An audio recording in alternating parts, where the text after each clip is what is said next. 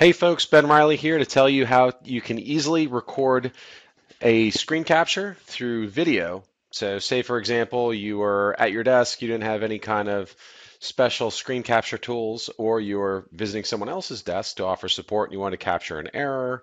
Um, if you don't have Camtasia, Captivate, one of these fancy um, screen recording tools, you actually have a great option built into Office 365 through PowerPoint.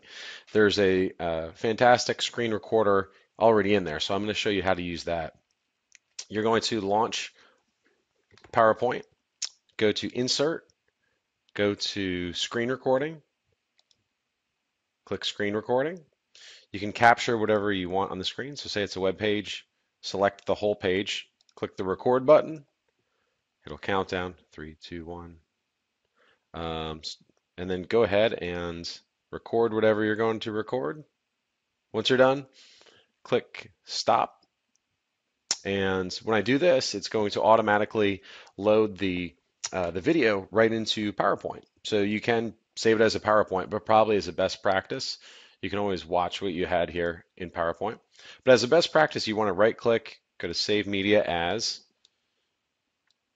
save it to wherever you want.